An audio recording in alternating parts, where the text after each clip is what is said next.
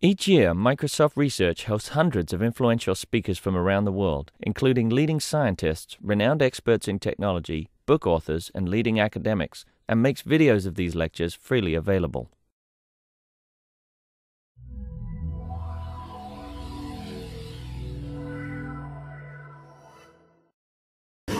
Okay, we're, we're honored today to um, to have Andreas Krause visiting us.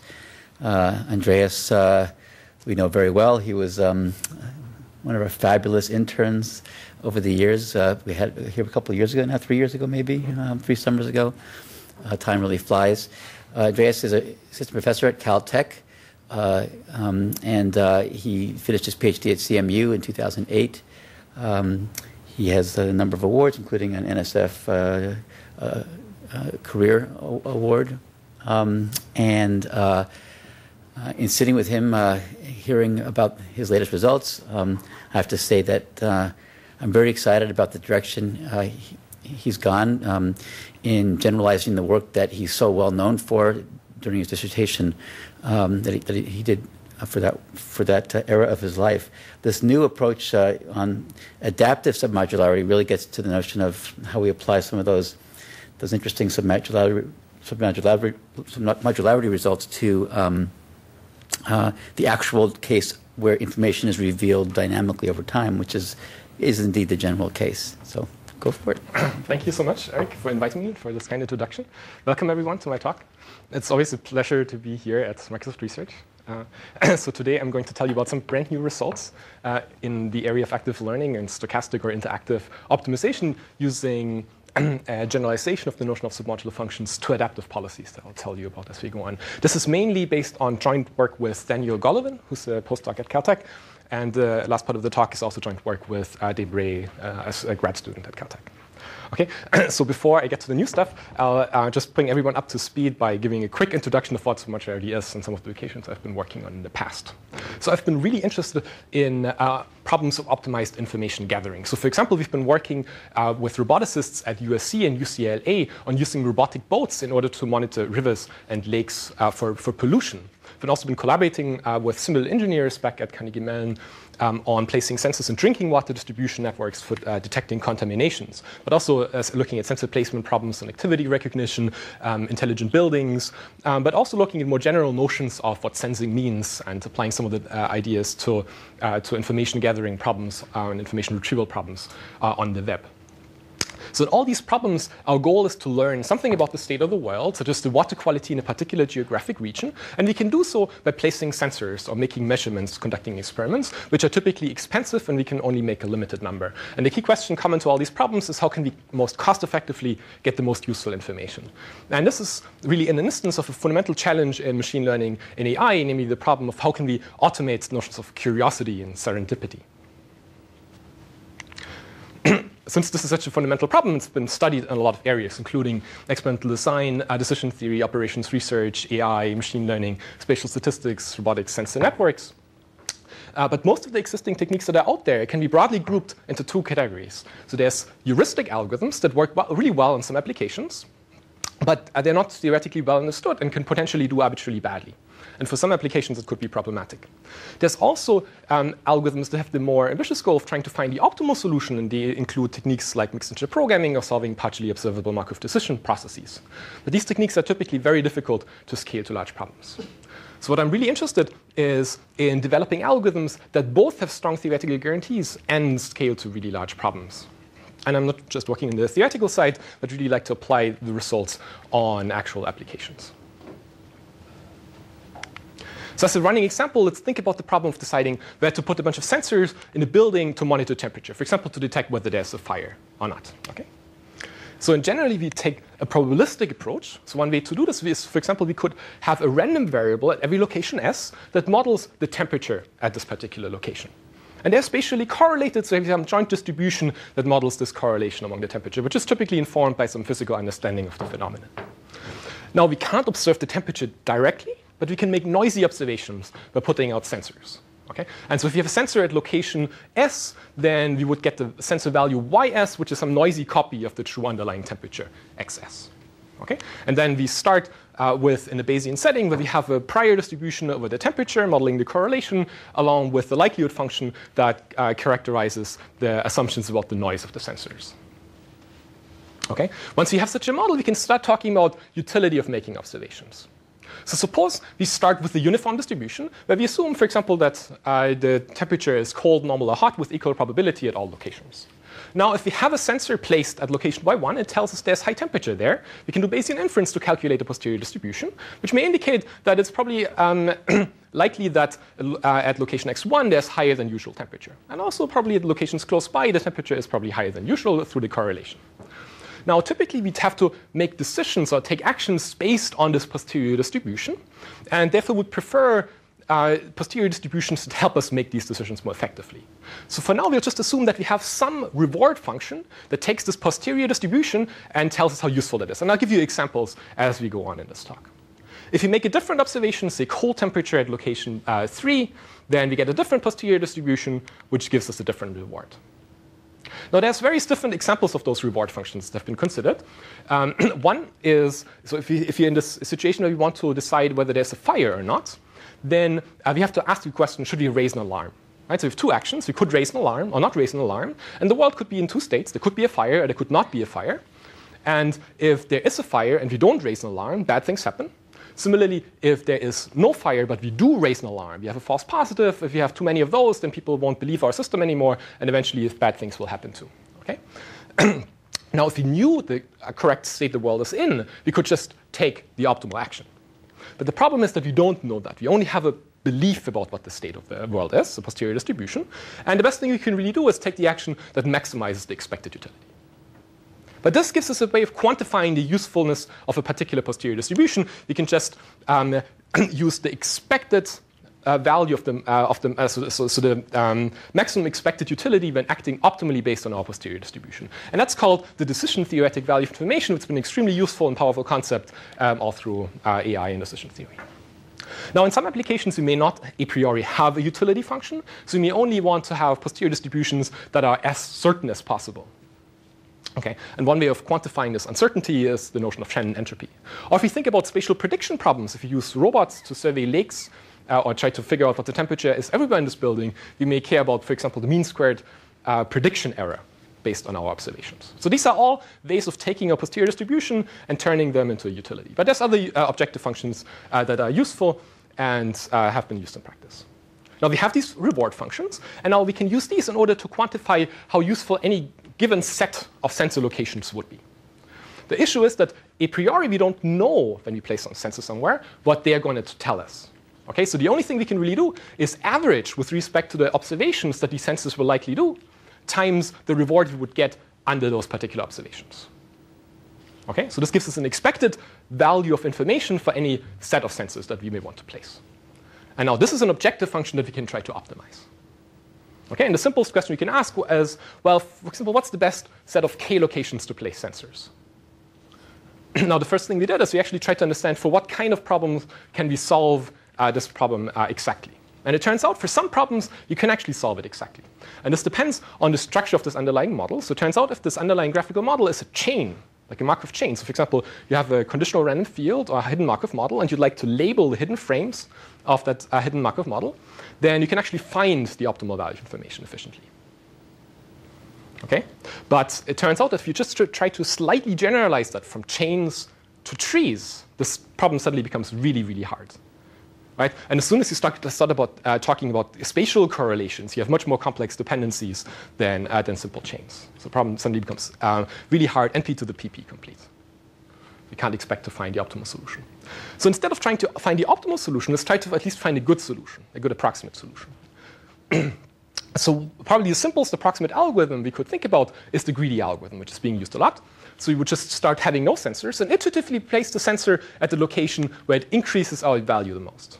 Okay, so we place one sensor at a time, uh, see how objective function increases, and we stop after we've placed all k sensors, but we never change any decisions we've already made. And the question is, how well does this simple algorithm do? So one way of trying to answer this is to run experiments. So we could take some temperature data, uh, run the greedy algorithm to maximize, for example, the improvement in, uh, in information gain, And for, if you have a small enough problem, we can actually find the optimal solution uh, through exhaustive enumeration. And it turns out that the greedy algorithm gets us really close to the optimal solution. And in fact, we see this in a number of different problems. And so the, the question is, is there any uh, justification of why the greedy algorithm should do well? Okay? And it turns out that the key insight for analyzing this greedy algorithm is the following natural notion of diminishing returns. So suppose you have two placements, A and B. In A, you've placed two sensors so far, Y1 and Y2. In setting B, you have three more sensors, 3, 4, and 5. And now let's consider about the additional value that a new sensor would give us in either of those situations. If we add the sensor S to the first set, we gain a lot of additional coverage, a lot of additional information. Versus if we place the sensor to the same location in the second deployment, we only get a little bit of additional information. We can formalize this uh, uh, diminishing returns property using the combinatorial notion of submodular functions. And a set function f that takes a set of locations and outputs a value is called submodular whenever we have a set A that's contained in some superset B. And we consider adding new element S to either of those sets. We gain more by adding this element to the small set than by adding it to the large set. So this exactly captures what's, what's going on here. And so in formulas just means that f of A union S minus f of A is greater than or equal to f of B union S minus f of B. Okay? And so for the sake of, con, uh, of a notation, we just use this notation delta S given A as the marginal benefit of adding this element S to the set A. Okay? Now, why did I tell you about? So first of all, uh, we can actually show that in the sensor placement uh, applications, this information gain is in fact a submodular function. And so why is this useful? Why did I tell you about this?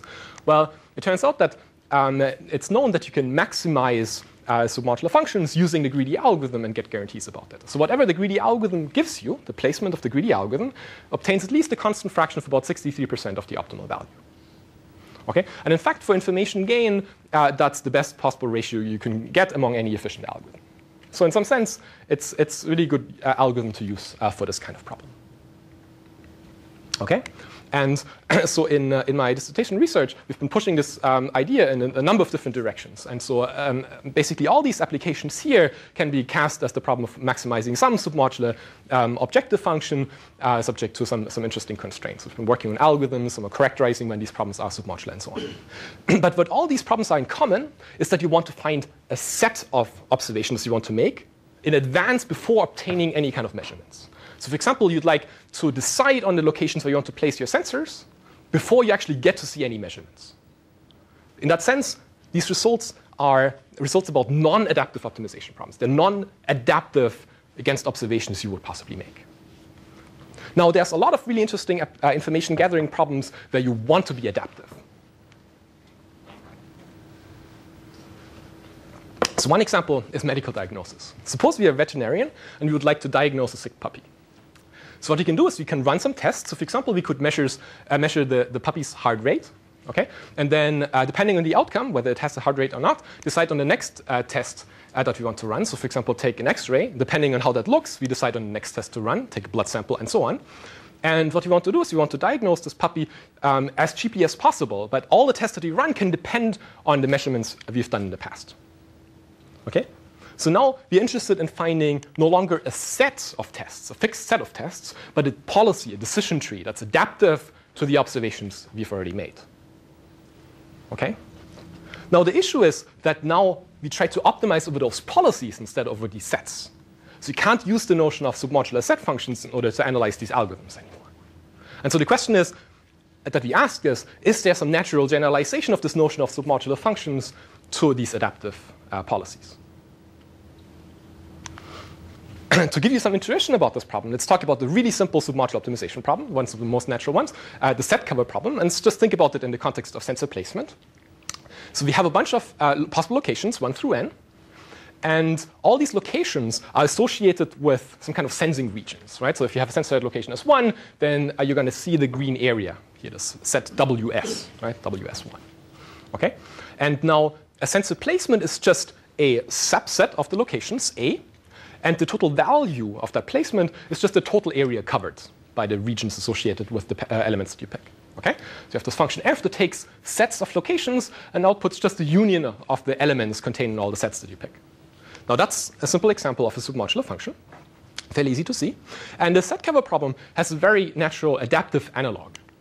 Okay? So what you could think about is suppose you're in a setting where you don't know about what the sensing regions are in advance. So if you put out the sensor, for example, a camera, then it could either observe all the way the hallway, for example, or there could be some obstacle, doors could be open and so on, and the uh, sensing region gets reduced by that. Or the sensor could fail and you don't get to see anything in advance. And you don't know ahead of time before you actually place the sensor. Okay? Now, in this situation, what you can think about is every sensor is actually associated with a collection of sets, collection of sensing regions, and there's a random variable. For example, for location 3, there's a variable x3 that tells us which of those sets gets realized. Okay? In this example, there's two sets, a yellow set and a green set. And if variable x3 takes value 1, then the yellow set gets realized. If it takes value 0, the green set gets realized. Okay? So the uh, set that is picked depends now on the realization of those random variables. And now you can think about trying to come up with adaptive um, policies where you pick a location, then the set gets revealed to you, then you pick another location, again the set gets revealed to you, and so on. It's a very natural adaptive uh, analog. And now you can define an objective function. So you can do this if you have a bunch of sensors, right? You know, have, have all these sensors. And now the value of a placement A in a particular world state joint realization of all those random variables is just the union of all those sets uh, that are parameterized by, the, uh, by these random variables. Okay, so it's a very natural analog of the set cover problem that's been studied in the literature. And more formally, what uh, we're going to do is we have, so the kind of optimization problems we, we're going to study is settings where we have a collection of items, 1 through n. And with each of those items, we have some random variable associated with it. And we have some objective function f that takes a subset of locations we pick, subsets of items, and a world state, which is the joint realization of all the random variables, okay, which sets get realized where, and tells us how useful that is. Okay? And now what we can do is we can quantify the value of a policy. So the situation is that depending on which, so the policy is some kind of decision tree, right? So depending on the test, you, you decide which set you pick. Now, uh, you can so for every possible world state xv, you could possibly realize a different set. Right? So you have some set pi of xv that's realized if the world is in state xv. Okay? So the value of a policy is just the expected value of the sets that are picked by the policy under the respective world state. And you average over all states the world can be in. Okay? So you can think about basically you have a decision tree. Uh, the realization of the world tells you which path you take down this decision tree. At the end, at the leaves, you get some value and look at the average value. Okay? And now you can try to maximize over these policies. That's a well-defined uh, optimization problem. Now the issue is that there's a lot more policies than sets. And this is strict generalization because you could just set all the outcomes to have uh, one, one single value in which this problem re uh, reduces to the classical uh, set function optimization problem. And so clearly the, uh, the problem is hard and it's uh, hard to approximate. So there's very strong hardness results for this problem. Okay? Now, uh, since this is a hard problem, we can't expect to find the optimal solution in general. So let's try to find a good solution. Right? So what's the natural algorithm we could try? Well, we could try to use some kind of adaptive variant of the greedy algorithm. So how would that work? So suppose we already have made some observations. So in the sensor placement problem, that means we've seen the realization of some of the sets. So for example, sensor 1 and 3 have been realized with this green set. And now we can look at not the marginal benefit, but the expected marginal benefit of adding new sensor S2 conditioned on those observations.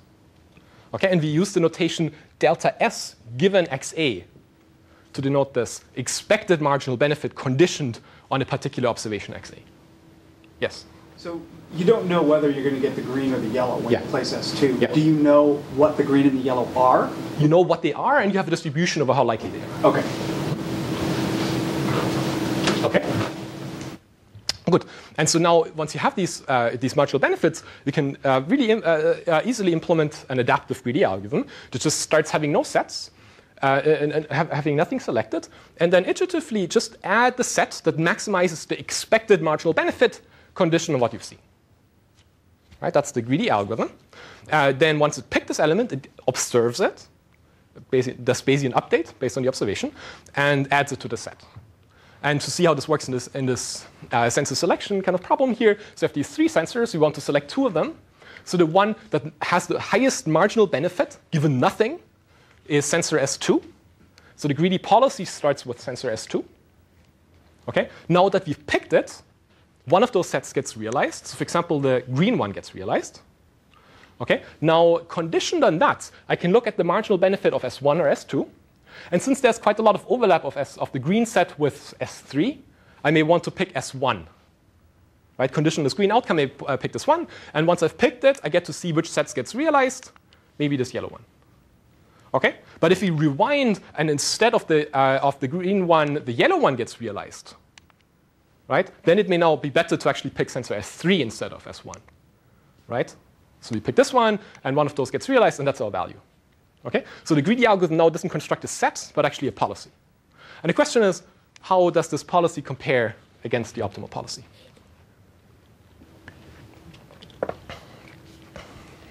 Okay? And so we know that in the classical setting where we want to pick sets, if the objective function is submodular, then the greedy algorithm is going to give us good solutions. So the question is, uh, is there some notion of adaptive version of, of submodularity? And here's the uh, generalization that we came up with. And it's based on these expected marginal benefits. So you call some objective function f and some distribution um, adaptive submodular if these conditional marginal benefits are monotonically decreasing in the set size. So what this basically means is that if we are in a state x, uh, so if we compare two situations, xa where we've made some observations, and xb where we've made more observations than in xa, then the marginal benefit of, uh, of any new item s conditional on xa has to be greater than or equal to uh, the marginal benefit conditional on xb. That's just the natural generalization of set function, right? In the set functions case, you just had delta s given a is greater than or equal to delta s given b. Now you don't just condition on the set, but you condition on the set plus the resulting observation. So that's, the, more restrictive. How much more restrictive that is? To, I mean, to, to, to find that kind of, of submodularity. So uh, that's a really good question. I'll give you some examples arguing that this is uh, a useful notion and in a bunch of applications. Okay? But of course, that's I mean, it's a really new concept, and I think there's a lot of to be studied to somehow say which problems satisfy this property. I mean, sitting here, I can imagine cases where it, it, it's it's it's it's certainly cases where it's not. Yeah. And I give, give easy examples where it's not. We can talk about them later. I have some later. Okay. Good. And also what you need is monotonicity. So you have some notion of adaptive monotonicity, which just says that the expected marginal benefits always have to be positive. So whenever I add an element, it increases my value and expectation. Okay? And now what you can show is that if f is adaptive submodular and adaptive monotonic with respect to this distribution p, then the, nice result about the, uh, the greedy algorithm still carries on. Okay? So the greedy algorithm is a constant fraction of 63% of the optimal value. Okay, so this still holds.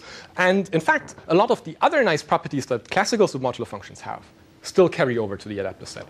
And I'll give you some examples as we go on. So let's just uh, see what this means for this adaptive set covering problem. That's been studied quite a bit. Both the maximization version, where we want to find a collection of sets that has maximum values, been studied by Asadpour et al.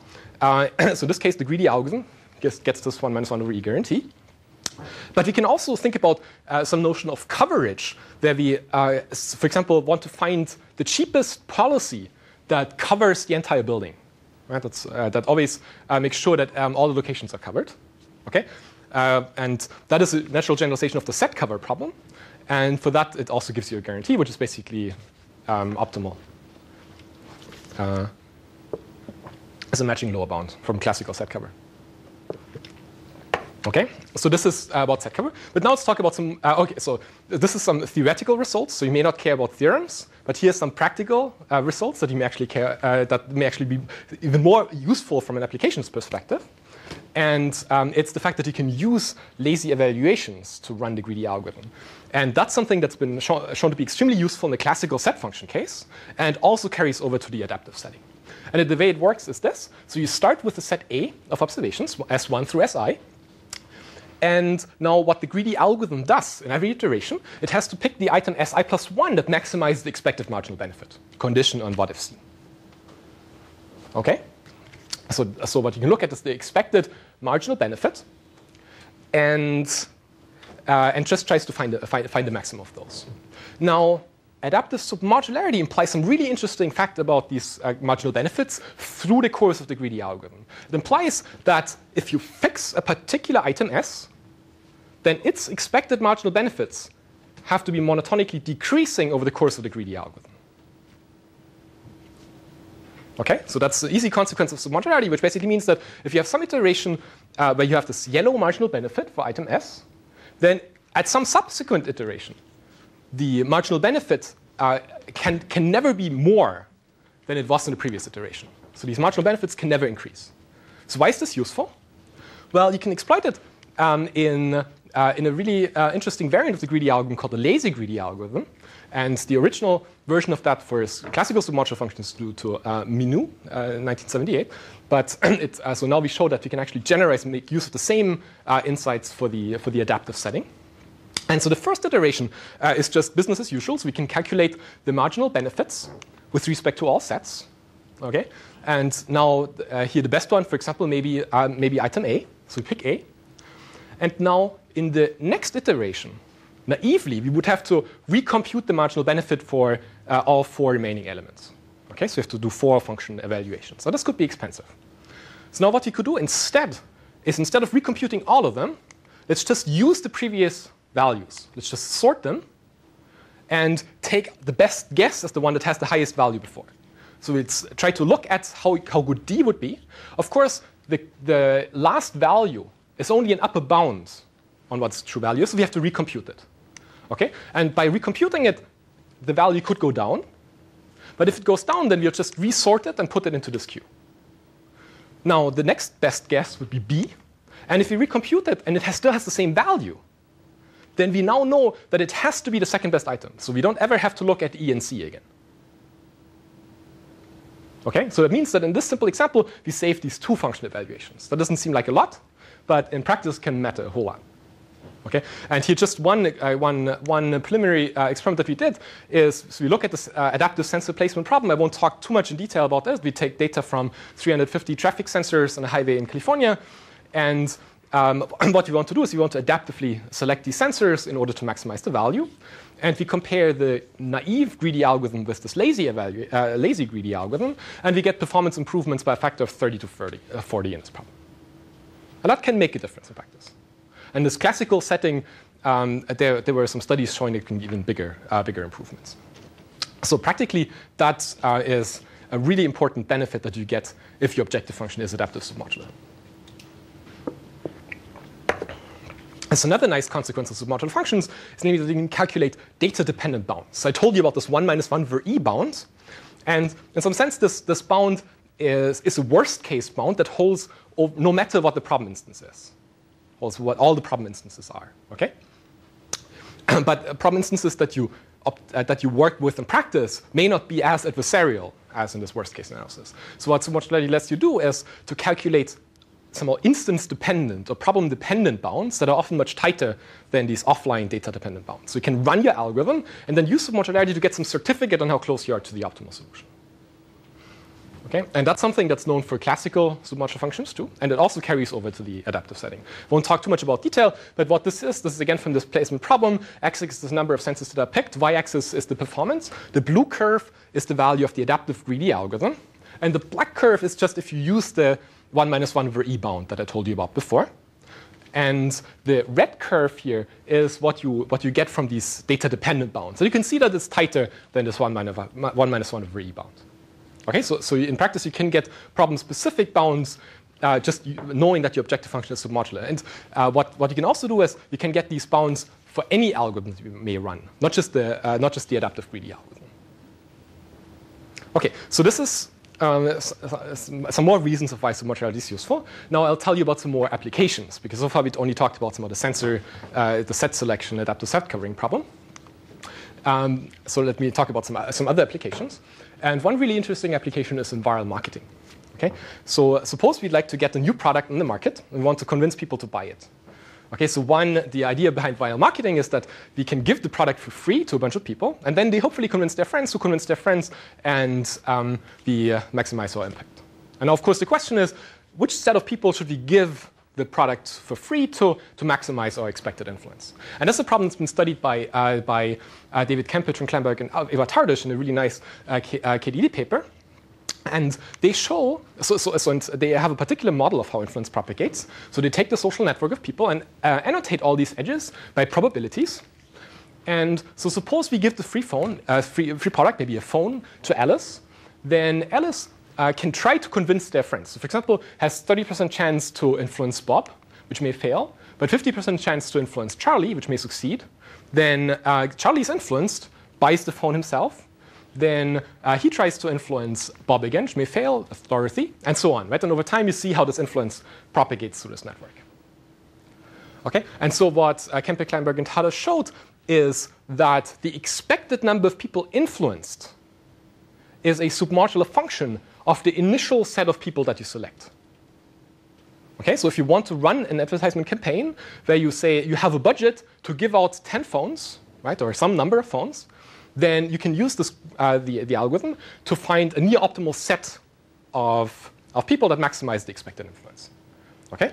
But this result is about the non-adaptive setting where you have to commit to the people in advance. This has a very natural adaptive analog right? So in, in what in, in, practice may want to do is actually run your uh, marketing campaign in stages, right? So you say you give the phone to a bunch of people first, then see how successful they are in influencing. You learn from that, then you pick another set of people, condition on what you've done, and so on, right? So it's a very very natural adaptive analog, and uh, that's so here, for example, we may pick Alice first, get to see how successful she was influencing people, maybe some uh, some information of that, and then pick Fiona for, uh, second uh, and, uh, and so on, gets to see how, how effective she is. Okay? And turns out that's an adaptive submodular problem.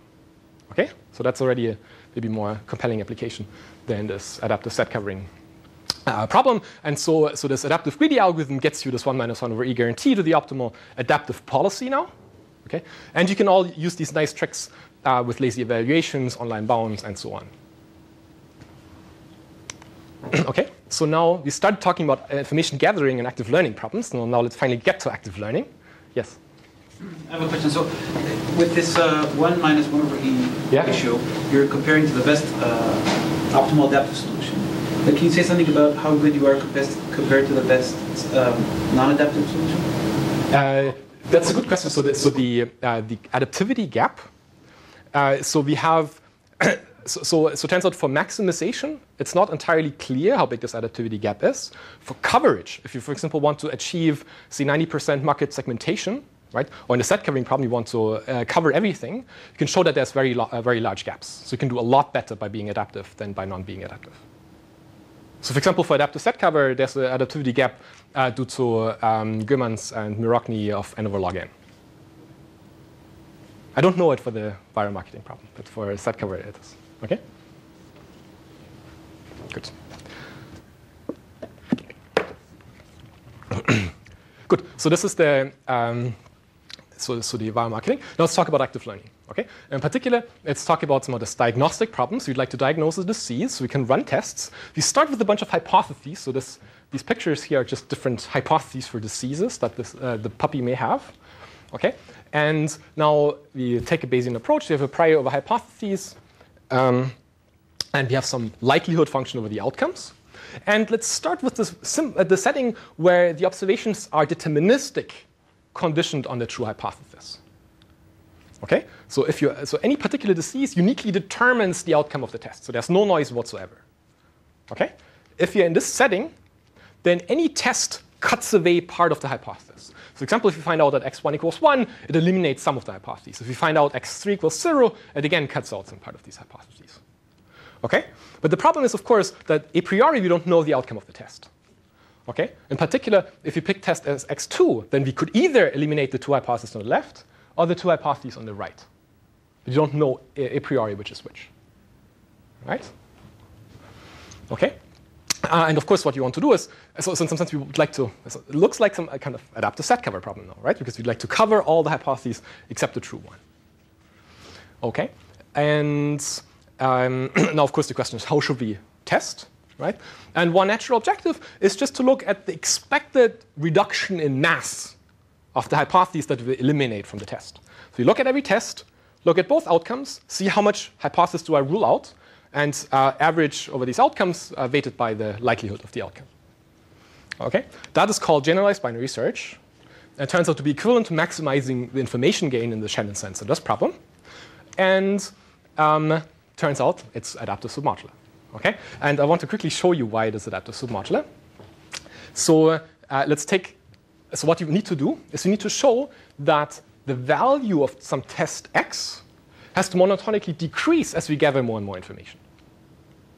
Suppose initially we have some prior probability of these hypotheses, the three on the left, uh, and we call it B naught, and so for blue, blue naught, and on the right we have some prior probability for, uh, for the green hypotheses, right, G naught. And it's not hard to show that the initial expected marginal benefit of this test x can be calculated as 2 times g naught b naught divided by g naught plus b naught. Won't go through this in detail, but it's really easy to show. Now, suppose we run some tests, we gather some information, so that cuts away some hypothesis. So um, both the blue and the green mass decrease. So now we can look at what is the expected marginal benefit of this test x after we've seen these observations. Okay, and that turns out to be 2 times uh, uh, uh g1 b1 divided by g1 plus b1. Okay, now turns out it's fairly easy to show that whenever b naught is uh, greater than or equal to b1, and g naught is greater than or equal to B1, uh, g1, which is always the case if you cut away mass of these hypotheses, then uh, some of the, the final marginal benefit has to be uh, less than or equal to the initial marginal benefit, which proves adaptive submodularity. Okay? So the proof fits on one slide. Okay? Now that means that the greedy algorithm for this general binary search is near optimal. In fact, that's not a new insight. There's been a lot of work in this problem. Some of the results have been rediscovered, some extensions, and, uh, uh, and the uh, guarantees have been improved over time. The currently best known approximation ratio for this optimal decision tree problem, uh, uh no, noise-free, is four times log of 1 over p min, where p min is the smallest probability among any hypothesis. And it turns out that um, using this insights that the objective function is adaptive submodular, you can actually improve this bound. So you can get rid of this factor of 4. Um, okay, so, so that means that somehow this adaptive submodularity analysis is, is tighter than all these existing analyses. But what, I'm, what, what I think is, um, is more interesting is that the fact that this adaptive greedy algorithm is guarantee is a simple consequence from the fact that the objective function is adaptive submodular. Okay, so all these existing uh, algorithms have to set up machinery for specifically analyzing this particular problem. Right? So there's been a lot of work in trying to analyze adaptive set cover, uh, analyze this, these active learning problems, uh, this viral marketing problem, and so on. And turns out the, the reason why they work is that the objective function is adaptive submodular. And you don't lose anything by this abstraction. You actually get better, uh, better bounds. So, so how does adaptive read for VOI compared to um, naive, myopic next best. Let me get to that. Okay. Essence first. Okay. Um, yes. My question is about the domain you are working on. Yes. So are you assuming that each observation you make, each task you make, eliminates some of the possibilities yes. at each step?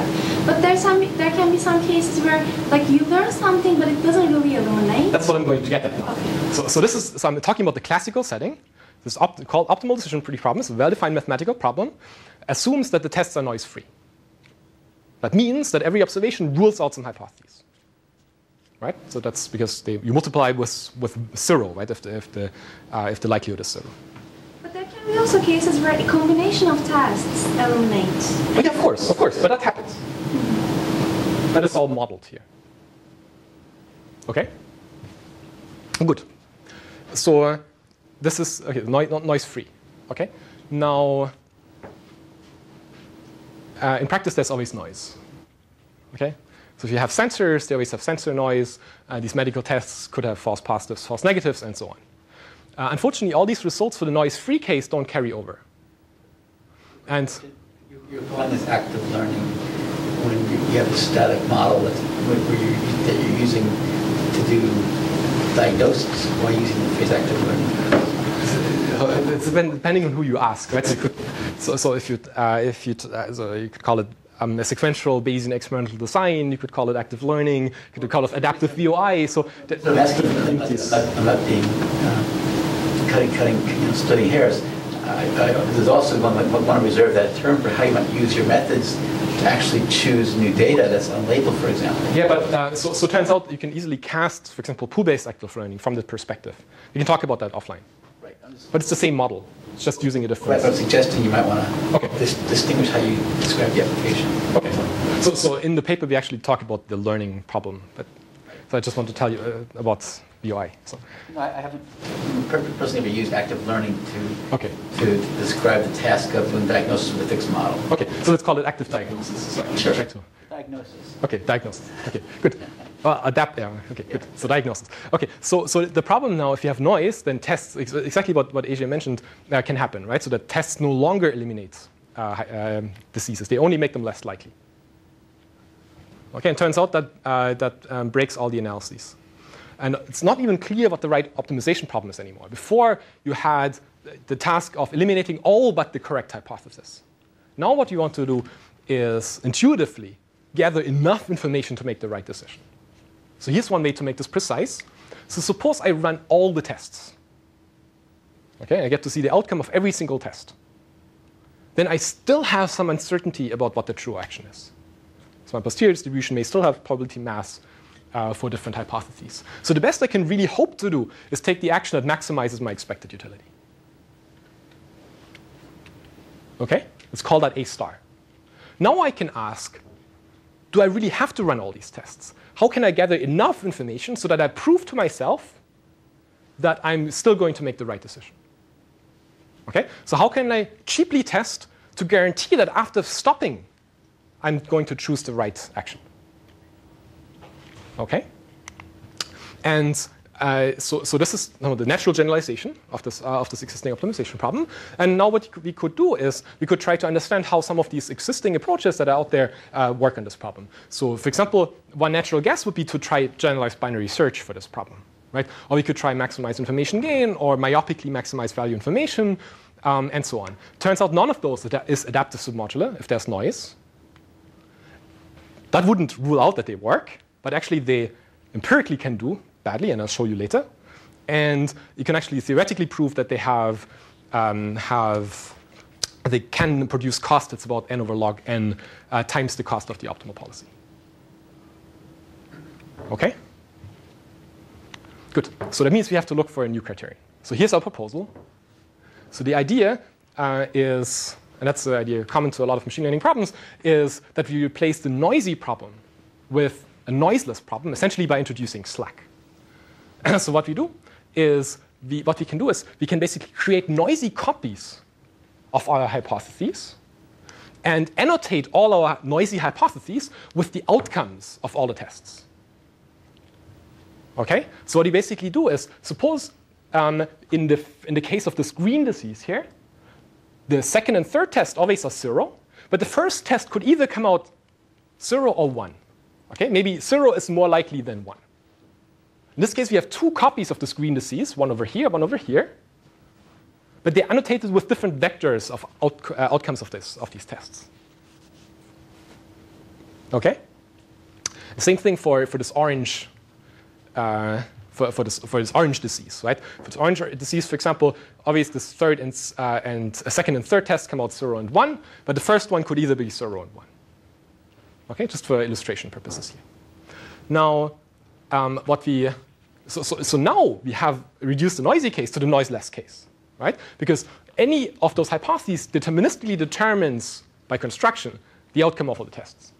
And now we could run generalized binary search in this problem. But of course, the big issue is that these noisy hypotheses encode a lot more information that we need, right? Because all we need to do is we need to distinguish between noisy hypotheses that lead to making the same decisions. So what you can do is you can take all those noisy annotated hypotheses and group them into equivalence classes based on which action we would take in either case. And now we only need to distinguish between these equivalence classes rather than the individual elements in these equivalence classes. So one way to do this is to build a graph where we introduce an edge between any pair of noisy hypotheses in different equivalence classes. And the weight of these edges, we're just going to choose um, as the product of the uh, individual probabilities of these hypotheses. Okay, so if you have two very likely hypotheses, so this green one, this red one here, then the edge would have heavy weight. But if you look at these two uh, examples over here, then the edge would have very little weight. Okay, And now, suppose we see the outcome of one test, so to see x1 equals 1. In this case, we eliminate some of those noisy hypotheses. And of course, now we can also get rid of all these adjacent edges. Okay? So every test eliminates now not nodes in this graph, but edges in this graph. And these edges basically measure our progress in being able to distinguish between these equivalence classes. And also notice that um, any optimal policy has to cut all the edges in this graph. Right? As, because as if there's still at least one edge, then there's some positive probability of confusing these two equivalence classes. Right? So we have to cover, get rid of all those edges. And so we can define the objective function as just the total mass of all the edges cut under a particular observation. Now, it turns out that's an adaptive submodular objective function. And that means the greedy algorithm is going to give us a near optimal solution for cutting all these edges. Okay, so the cost of this greedy policy is at most a logarithmic factor more than the optimal policy. Okay? And so this, uh, the, the, the, factor here depends on some of the, the probability of, um, of, the, of the hypotheses. Okay? And so this, and this is the first approximation algorithm for, uh, for non-myopic VOI in general graphical models. And the idea is that you want to solve this non-myopic problem, but you define some alternative somehow sub substitute for the, uh, for, the, for the objective function. You don't really optimize value information, but you optimize this somehow proxy objective function, which turns out to be adaptive submodular and somehow guides you in the right direction. Okay, so now for an application. so yes, yes. I have, a, I have a question on this. So it seems like the costs of computing the greedy is going to be tremendously high. Yeah, so, so very good point. So, so um, in practice, you would never actually implement the algorithm as such. But what turns out what you can do is you only need to estimate the amount of mass uh, eliminated through the tests, and you can estimate that using sampling. So there's this uh, rejection sampling approach for estimating how much, uh, how much mass you can do. And also it's a very efficient approximation to this objective function, which actually works really well in practice. Okay, good. So this is what you can do. And so now for, for, for some actual application, um, so we, uh, so, so I uh, started to collaborate with Colin Camerer at Caltech, who's a neuroeconomist or behavior, uh, behavioral ec economist at Caltech. And uh, one uh, interesting paradigm that they study in order to understand how people make decisions under uncertainty is called the Iowa gambling task. And in that task, subjects are presented two decks of cards that you can flip through. These cards basically uh, have so, so the, the, cards have different values. So, so you, you could either win, you could lose, or gain nothing. Okay? You flip through the cards, and you have these two decks of cards. You can look at both of them to somehow estimate how likely you are to win, lose, or gain nothing with respect to these cards. After you've gathered some information about that, uh, you have to then decide one of those decks of cards and draw a card and get paid based on that observation. And you get this equal for this for the setting here, You get equal number of trials for both of those cards. So you get the uh, information for these probabilities. So in some sense, what this test uh, encodes is a particular probability distribution over rewards. Okay? And suppose you have these two different uh, distributions. In the first setting, you win $10 with 70% chance, lose $10 with 30% chance. In the second setting, you win $10 with 30% chance and uh, gain nothing or lose nothing uh, with 70% chance. Who would uh, prefer the, uh, the left gamble? How many trials okay. do I get? Yeah. Well, one. Only one, one trial? Yes? Oh. Who would prefer the second one? Okay, so there's turns out there's some uh, heterogeneity, right? So, so the one that has higher expected utility is the first one, of course, right? The Four dollar in expectation versus three in the second one. On the other end, the, the other one you can uh, in the in the right one you can only win, right? And so there's different competing hypotheses of how people make uh, make make these decisions, uh, such as, uh, for example, this hypothesis just people maximize expected utility. Um, there's prospect theory, which basically says that people may weigh losses stronger than they weigh gains. There's also portfolio optimization, which basically says that people weigh expected value versus variance versus skewness or other moments of the uh, distribution differently. Right? So there's basically different ways that of looking at features of those probability distributions and encoding utilities over those. And uh, an interesting question in behavioral economy is trying to understand some of what is the variability in the population among those different theories. Does everybody behave the same, or what, what, uh, um, what makes them behave in a certain way, and what kind of situations? Okay, and now of course what we, uh, what we, every test requires to actually have the subject run through this, through this setting, right? So you have to come up with a set of these PDFs, of these stack of cards, and uh, gather some information. It's expensive. So what we'd like to do is we'd like to efficiently uh, gather data as efficiently as possible. So you can cast this as a Bayesian experimental design problem where we have one latent variable, which is the theory that we try to identify, right? Prospect theory, expected value, and so on. Uh, this has parameters that we also don't know. And all tests that we can run, the observations, x1 through xn, are basically pairs of gambles. Okay, so any test that you can run is a particular pair of, of those gambles, of that, those decks of cards that you can show. And now um, all these different utilities and the parameters give us, uh, so all these different theories and parameters give us different utilities for each of those gambles. So we can try to model the pick uh, of, the, of the user as some kind of noisy indicator of the perceived difference between the utilities of those gambles. So this is some kind of softmax function, which is used a lot in behavioral economics. So this is just the observation.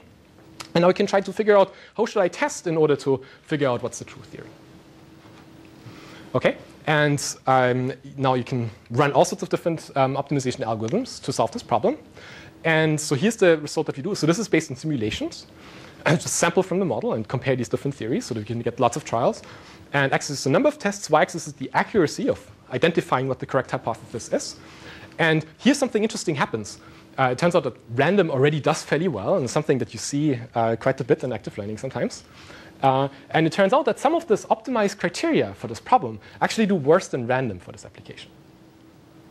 Okay, and I can speculate offline of why, why I think this happens, but of course it's due to the fact that they uh, optimize, myopically optimize, so that you don't do any look ahead. Okay, and uh, so for example, what happens in uncertainty sampling, that's easy to understand. So uncertainty sampling just picks the test about which you're most unsure what the outcome is. Okay? But in this uh, task of distinguishing these different theories, that is quite problematic um, because if you have um, a particular pair of gambles where the utility of two different theories is equal, then that maximizes the uncertainty about the outcome. But also, if you run this test, it doesn't tell you anything about the true theory. So in this case, the more uncertainty and the amount of information gathered about the theory is negatively correlated. Well, that's one reason why uncertainty sampling does really badly. Okay, but there's other reasons for the other objectives.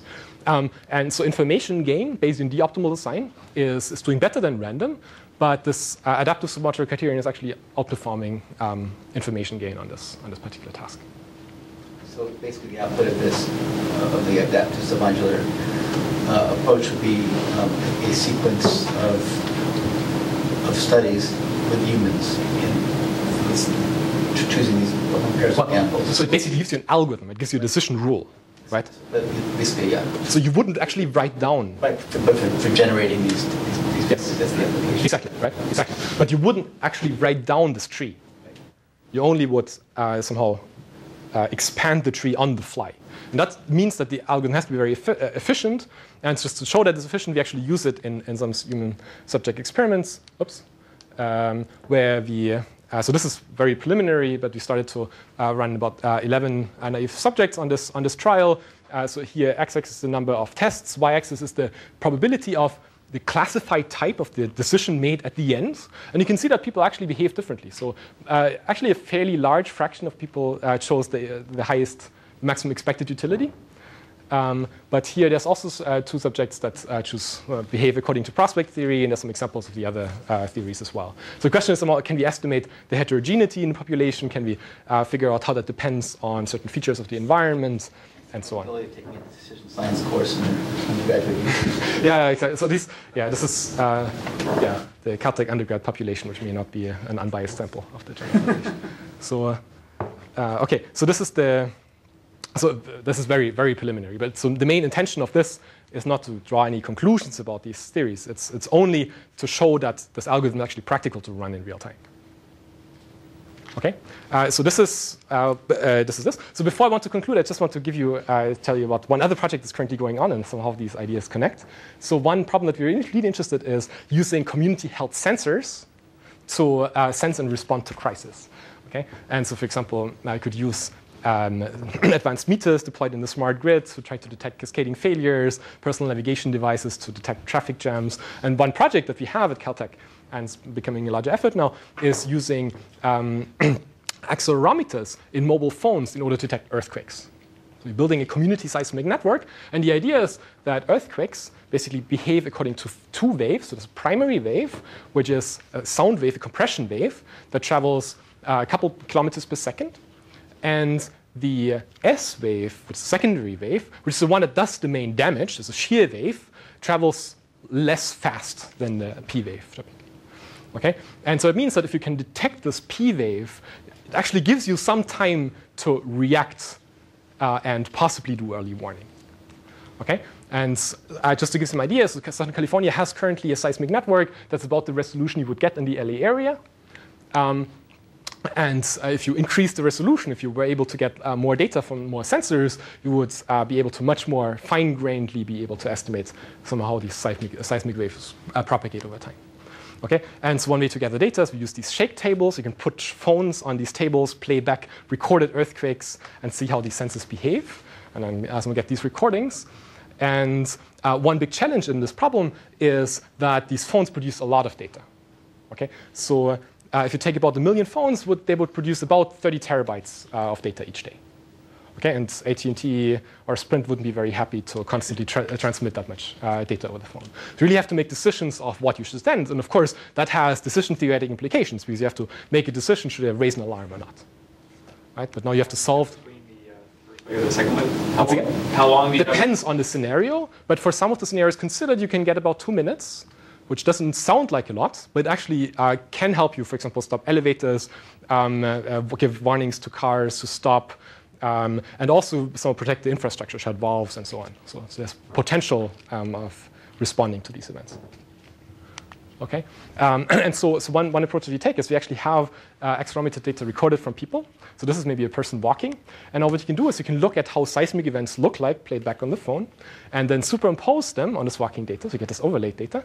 And now we can look at uh, basically train a model of what normal activity looks like on the usual data by using density estimation techniques, and then look at the likelihood of the, of the observations, for example, during an earthquake. And you actually you can see that even so bigger events, you may even be able to detect uh, in some uh, activities. I mean, so typically would only try to detect earthquakes while the phone is laying still, but for the major ones, you may be, be able to figure out something that's going on while uh, people are using the phones.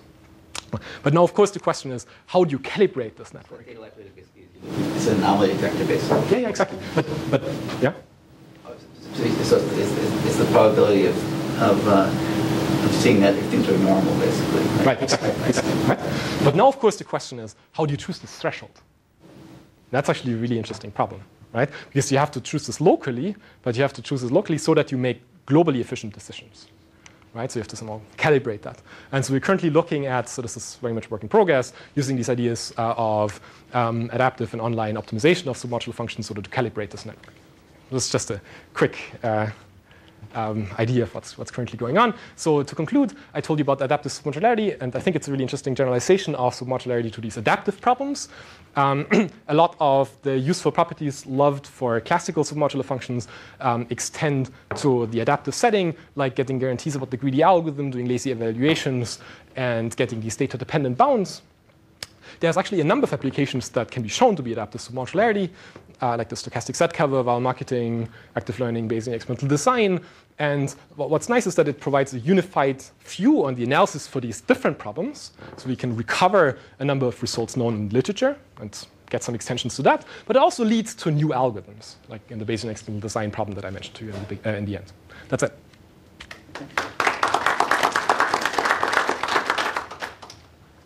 Sensitive are your results to knowing that precise probabilistic model? Good question. so uh, it turns out that um, for, for the maximization case, it's difficult to say something. But for the coverage case, so for example, if you would like to achieve a certain amount of market coverage in the viral marketing or in the active learning setting, um, you uh, get guarantees even against adversarially chosen realizations. So you can even get, um, if you start with a distribution, but basically the uniform distribution, then uh, you still get guarantees even against worst case chosen realizations. can you quantify the, robust, the robustness in some sense? Yeah, that's an interesting question for future work. So this is some kind of the other end of the spectrum, right? If it's completely adversarial, you can still say something. But of course, you know, how things happen between exactly matching your prior versus uh, being completely off, there's a lot of uh, possible room to improvement. Any other questions? What's next? I told you some of the problems that's next. So, but, uh, so, so I think one, the theory? In terms of, in terms of the theory, yeah. Yeah. So, so I think one, uh, one interesting question is, um, so in some sense you can cast all these information gathering problems as general part, uh, partially observable Markov decision processes, right? But just using general purpose black box algorithms for that is, I think, really challenging because the state space is exponential with the number of observations you can make, and the belief the size of the belief space is exponential in the size of the state space. So in some sense, it's doubly exponential with the number of tests you want to run. So it's extremely instructable. Um, and uh, nevertheless, you can get approximation guarantees for this class of POMDPs. And of course, one question is, can someone push this further? And someone will say that, can you say something about more general planning problems? So this is one. The, you of the, the MDP approximations, for example. Sort of adapt them to work kinds of functions. Uh, yes, exactly. Right. So can, can you come up with approximation algorithms for certain types of POMDP? So this is one interesting problem. But also, of course, these robustness uh, issues uh, that, that were just uh, raised as a uh, really interesting uh, discussion. And also get, just getting a better idea of which problems are adaptive submodular. I mean, this is a new concept, right? So we don't know how general this is. So you have a domain that you don't know much about and you're thinking about applying these adaptive submodular algorithms on that domain. Yep. So what is the first clue, you, or how do you make a decision, like to say this domain is submodular or not? Okay.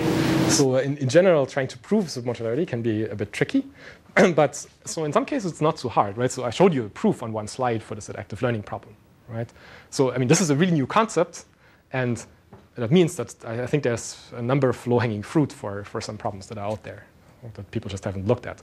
But uh, so in general, so I'm not sure about what's the right toolboxes for proving uh, adaptive submodularity, but uh, there are some operations that do preserve adaptive submodularity. So if you can somehow, you can build more complicated adaptive submodular functions from simple adaptive submodular functions. And in the in the paper we discuss uh, some of those. Hmm. That may be one way of going about this. a wild-eyed thought would be that you can actually maybe design artifacts to have this property for diagnosis in the future with, with guarantees. So actually just design machines, design machines that, that give them this property as, as part of the design process for maintenance and diagnosis with, with guarantees. Okay, that's, yeah, that's, that's interesting. Can you somehow come up, yeah? It's kind of a wild idea. Yeah, yeah, yeah, yeah, no, but uh, there may be something. We can talk about this offline, yeah? yeah. yeah. Um, are there any additional constraints on submodularity that give you an even more optimal solution? Like strictly submodular? Very good question. So, uh, so for the classical notion of set functions, um, you can quantify the performance guarantee of the greedy algorithm in terms of a, quantity called the curvature, which basically means how strong is this uh, diminishing returns property? How quickly does it flatten out? And there's a way of quantifying that, and you can, uh, so, so an uh, extreme example is linear functions right, that, that don't have any, uh, any diminishing returns. So it turns out the greedy algorithm is optimal for linear functions. Okay, and so now between linear uh, one, right, optimal, and one minus one over e, there's some room, and you can quantify where you are. And we don't know what you can do for the adaptive submodular case. So it's an interesting direction. And, and, also the other thing I was going to ask, in the submodularity, they showed that the greedy is the best boundary. You can. Do you have the same result for adaptive? Well, uh, it's a strict generalization of the case, right? So, so, unless you make further restricting assumptions, you can't really say that because so so, so you can always um, so any submodular optimization problem is an adaptive submodular problem where all the observations are deterministic. So in sense, all the hardness results for submodular functions carry over. And since the lower bound, so the upper bounds, for the performance guarantees for the greedy algorithm, match up, there's not really room for doing that. Yes, Rich. Any idea how the quality of the solutions degrades with failure of the adaptive submodularity assumption? I mean, could you have like epsilon yeah. submodularity yeah, yeah, with less than or equal to held? With an epsilon on one side. Very good. So, so we call it alpha similarly, but if it's basically, uh, somehow if you implement the greedy algorithm that's only off by a factor of alpha, uh, then you still, all the guarantees good. There's a lot, there's uh, uh, a bunch of uh, results known for the classical case and they still carry over to the adaptive case. So either if the objective function that you try to optimize is close to a submodular function or if you can't implement the greedy algorithm exactly, you can st uh, still do something. So, I guess it might also be an empirical question in addition to a theoretical question. I mean, think about boosting, for example, yep. which makes this strong assumption of weak learning. Yeah. And that's not satisfied by most learning methods that we boost. And yet boosting in practice works extremely well yep. over a wide range of boosted algorithms. And I'm wondering if the same thing might be true here, that in fact adaptive submodularity is great when you can get it. Yeah. But in fact, you do quite well using these methods, even when it's not really quite true. That's very good. So, but it's it's really difficult to answer that theoretically so uh, as, as, as, it is for boosting. As it's for boosting, yes. You could, so, so, so basically, you're saying that this modularity as a heuristic. Yeah. Right. So, but uh, as an anecdotal example, so I, I, told you about this, for example, mean squared prediction error. So the variance reduction. So, if you say you want to monitor temperature in a building, right, or in a lake, then uh, you may want to care about the expected reduction in mean squared error.